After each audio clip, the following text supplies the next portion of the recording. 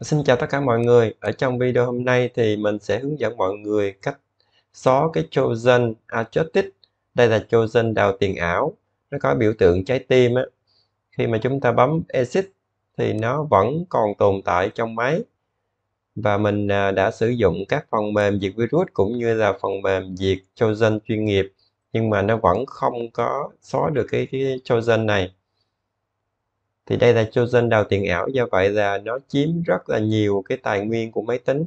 Nó làm cho máy tính các bạn chậm đi.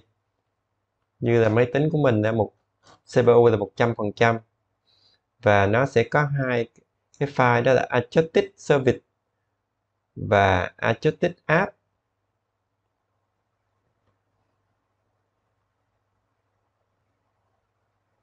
Có thể khi mà mình thoát thì nó vẫn vẫn xuất hiện. Thì đây mình đi đến cái file. Cái file này nó nằm ở Odyssey thư mục là program file và mình xóa cái thư mục à, Archit Archit shop nhưng mà nó báo lỗi.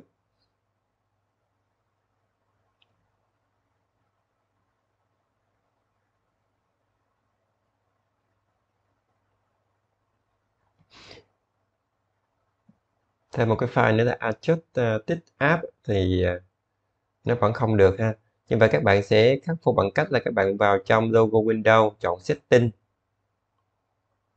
Ở bên cái mục là system á, ở bên trái là system, còn bên phải thì các bạn sẽ chọn là recovery.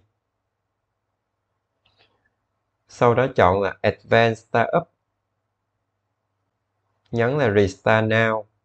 Nhấn restart now lần nữa để khởi động máy tính lại. Thì lúc này chúng ta sẽ à, khởi động máy tính vào trong Shape Mode. Sau đó bạn sẽ chọn là Troubleshoot.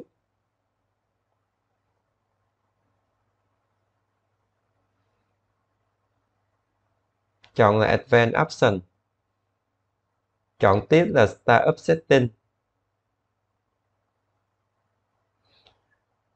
Các bạn nhấn cái nút Start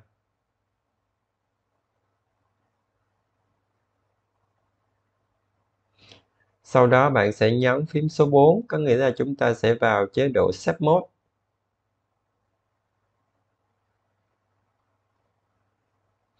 Thì các bạn để ý là góc dưới bên phải nó có chữ set Mode nè, thì chúng ta đang ở chế độ set Mode. Sau đó bạn sẽ vào trong ZPC, ổ đĩa C, thư mục là Program File x86 bạn sẽ xóa cái thư mục là Archit Shop đi. Sau đó các bạn khởi động máy tính lại. Và lúc này chúng ta sẽ kiểm tra xem thử là nó còn cái uh, chosen đó không. Bằng cách là bạn bấm chuột phải vào trong thanh tách 3 bạn chọn tách Task Manager. Thì lúc này mình kiểm tra thì đã không còn cái chosen đó nữa. Do vậy cái CPU của mình lúc này nó nó chạy bình thường mà nó không phải 100% giống như là à, khi mà bị nhiễm của Johnson. Thì mình đã mất cả một ngày để mà tìm ra nguyên nhân lỗi này mặc dù mình đã dùng những cái phần mềm diệt virus chuyên nghiệp cũng như là phần mềm gỡ bỏ Trojan nhưng mà đều nó không hiệu quả. Chỉ có cái cách mà vào submode mode này là rất là ok.